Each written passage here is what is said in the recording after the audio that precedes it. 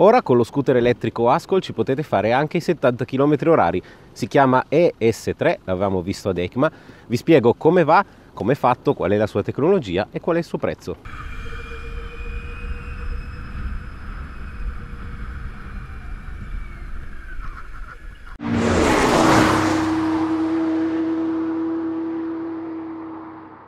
I 70 km all'ora non sono il dato che forse bisogna considerare come principale di questo scooter, ma è come ci si arriva, anche perché a 70 ci arrivate dopo un lungo rettilineo, ma in realtà il motore è completamente nuovo e lo scooter reagisce in modo davvero diverso rispetto ai precedenti. C'è più potenza, è più reattivo, è più veloce nell'accelerazione e soprattutto nelle stesse dimensioni del vecchio powertrain arriva un motore riprogettato, eh, motore sincrono a magnete interrerare con plasto neodimio al posto della plastoferrite dei precedenti, c'è anche la ventilazione forzata che è riuscita a risolvere il problema del riscaldamento, infatti per i motori elettrici la potenza si calcola non al picco a freddo ma dopo mezz'ora di utilizzo proprio per tenere in considerazione la variabile del riscaldamento, 130 Nm di coppia per questo motore, 88% di efficienza totale considerando quindi l'intero scooter e i nuovi pacchi batterie Ascol ha infatti scelto di mantenere la stessa autonomia dei S1 e S2 nonostante la rinnovata potenza, 2.8 kW su due pacchi, quindi ognuno da 1.4 kWh, stesse dimensioni, densità di carica maggiore grazie alla nuova cella che è da 3.6 V e 2.9 Ah. Ascol assembla le sue batterie in casa a partire dalle celle che sono l'unica parte acquistata da un fornitore esterno, poi tutto il resto, soprattutto il lavoro di test che è effettuato per ogni singola cella in modo da non compromettere poi il prodotto finale è fatto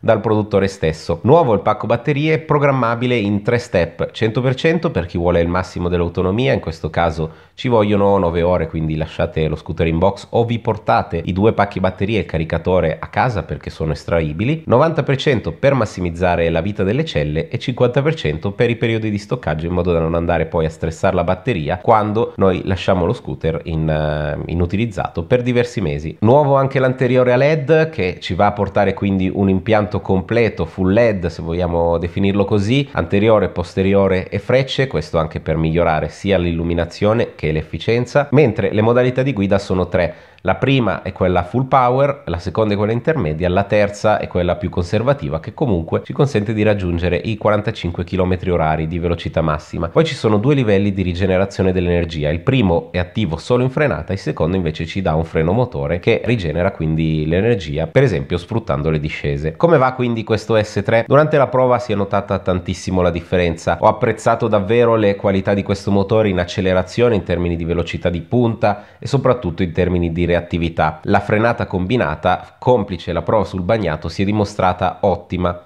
Innanzitutto perché non c'è l'ABS? Beh, perché l'ABS aggiunge peso, aggiunge costo e aggiunge un assorbimento che, anche se minimo, va a incidere sull'autonomia. La frenata combinata, per come l'ha sviluppata Ascol, cioè privilegiando il bloccaggio del posteriore, quindi privilegiando una percentuale di frenata maggiore sul posteriore, si è però rivelata ottima anche sul bagnato, sulla pioggia. Infatti lo scooter tende a perdere aderenza per via del bloccaggio sul posteriore, ma si tratta davvero di una perdita minima e soprattutto complici gli 85 kg, incluse le batterie di questo modello, chiunque riuscirà a controllarla. Poi chi vuole frenare invece in maniera un po' più motociclistica ha comunque a disposizione la leva destra che va ad agire solamente sull'anteriore. Ottima la maneggevolezza, le ruote da 16 hanno consentito anche di affrontare meglio l'asperità del percorso che simulava un po' eh, gli ostacoli cittadini. Facile, davvero versatile, raggio di sterzo ridotto, chiunque potrà utilizzarlo e pratico il display che ci mostra poi le diverse modalità di guida e soprattutto le diverse autonomie a seconda della modalità di guida che noi andiamo a selezionare fra le tre disponibili. Tirando le somme, ottimo lavoro per questo S3 che si può definire lo scooter che va a consacrare Ascol nel mondo della mobilità urbana elettrica, un prodotto davvero interessante, ci sono i due posti, c'è una potenza in grado di convincerci a lasciare a casa il 100 termico e ad um, affidarci a questo 100 tra virgolette elettrico. Il prezzo è stato mantenuto basso e concorrenziale apposta in modo da riuscire a convincere il mercato, 3.490 euro a partire da giugno. Prime impressioni sicuramente positive, poi l'unica riserva, quella sulla frenata, che era ancora un po' da rodare considerando che gli scooter erano davvero a chilometro zero, vedremo di scioglierla in fase di recensione completa, magari rimettendo le mani su questo ES3 più avanti. Se avete domande fatemelo sapere nei commenti, anche per qualche dettaglio tecnico in più, iscrivetevi al canale e soprattutto soprattutto ricordatevi la benedetta campanella perché senza quella YouTube non vi manda le notifiche, rischiate di perdervi nuovi video e io sarò molto triste. Luigi Melita per HD Motori.